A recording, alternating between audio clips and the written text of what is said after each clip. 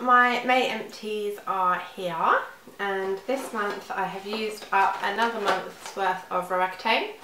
I am now on 30 milligrams which is 20 milligrams and 10 milligram two separate tablets rather than one because they don't come in 30s. I'm going to um, do a video this week of how month two has gone on Roaccutane so if you're interested then have a watch of that. I won't bore anyone that's not interested in this video. So because I'm on Roaccutane my lips are really, really dry. So I've got through three different lip balms. My favourite is Dr. Lipp Original Nipple Balm for Lips. It's quite expensive. It's about 12, 13, 14 pounds. You can get it from Space NK. Um, it started off as a nipple balm, but it's become like a cult lip product. You can use it on your cracked knuckles, on flaky skin, on anything basically, but it's really, really moisturising. Um, it's a little bit like 8 Hour Cream by Elizabeth Arden, I think, but I really like it. I've been putting it on at night before I go to bed and in the morning my lips just feel so smooth. I haven't been using it so much during the day because I didn't want to run out of it really soon. Um, I have done a full review of this on my blog. Um, in December I did makeup for Britain Island's Next Top Model, the live shows, and we were doing like a show on the hour every hour with the girls for like four or five days so their lips were getting really sore and I had this with me and a few of them kept coming to me for it because it was really helping their lips so much. and I kind of wish I hadn't taken it because then there would have been more for me but I think I will have to get my hands on another one of these because this is a must-have for dry lips. Coming second behind it is Carmex and I do like Carmex, it is cheap, I love the smell of it although someone told me this week that it has camphor in it, which I knew, but apparently camphor is bad to put on your lips because it makes your lips addicted to camphor, so you just keep on needing more and more. But I know that my lips need moisturizer, moisturising at the moment anyway, and this is doing a good job of moisturising them. I don't think I've ever actually used up a whole tub of Carmex before, but I have this time. I normally end up losing it halfway through.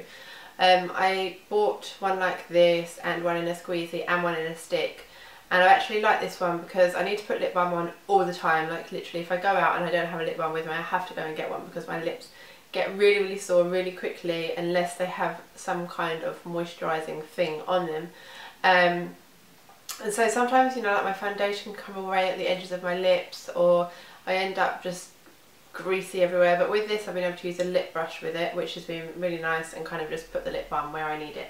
So that's been good and then the last one that I've used up is this Maybelline Baby Lips. It's not out in England yet as far as I know.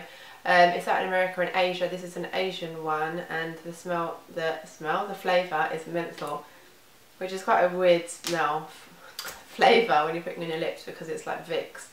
Um, I wasn't overly keen on it. I'd be interested to try some other flavours. I hope that it will be coming to England soon and I'd like to try the more fruity or you know bubblegummy kind of ones if they have any. Um, it was moisturising but it's more of like a greasy feeling than a sinking in feeling like it feels like it sits on the top of your lips a bit more um, but nice and I look forward to them coming to England. Um, while I'm talking about dry skin another product that's been good is this Elemis Skin Nourishing Milk Bath and it says on here for maximum benefit use every other day over 9 days. Shake well and add 80 mils while running the bath. This is 400 mils in here, so 80 mils is like this every day, which seems so much to put in the bath, every other day rather.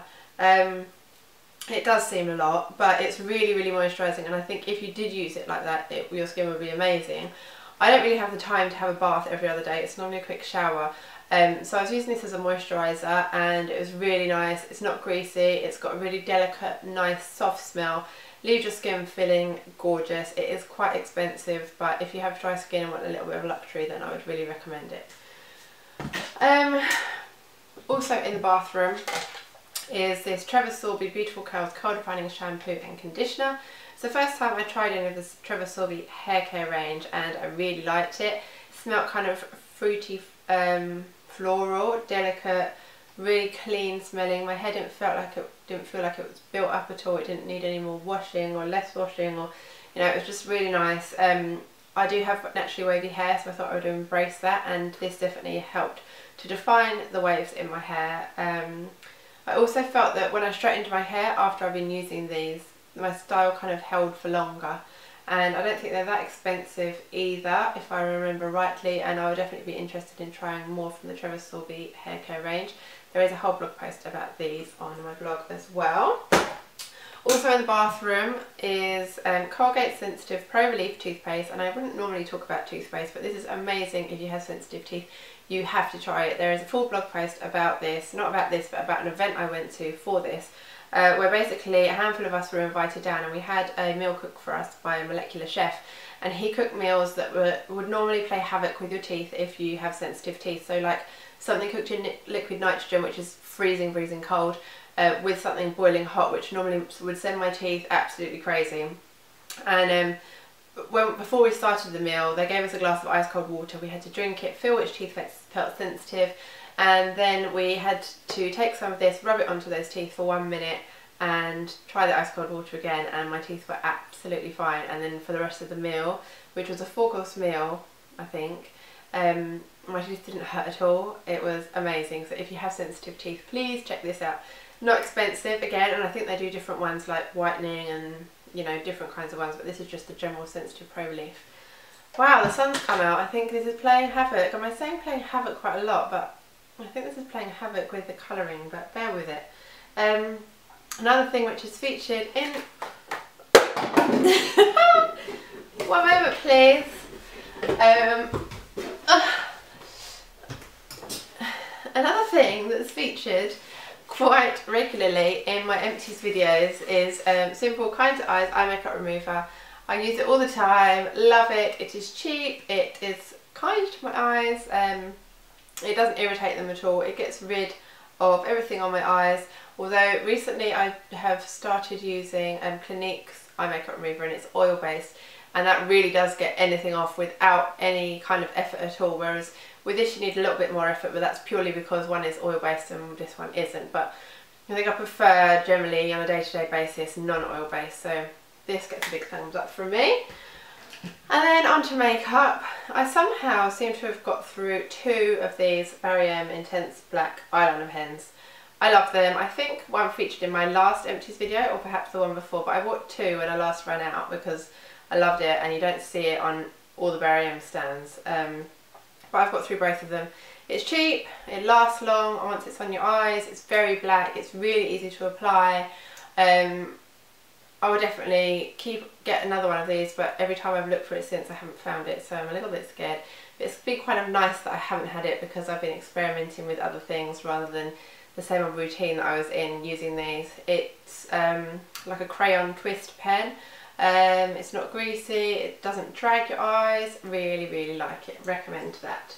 And then another thing which is featured, featured in another of my empties videos before is MAC Stereo Rose Mineralized Skin Finish. This came out as part of a limited edition collection a few years ago and also at the end of last year I think. Um, this is actually the fourth one that I, I have used up.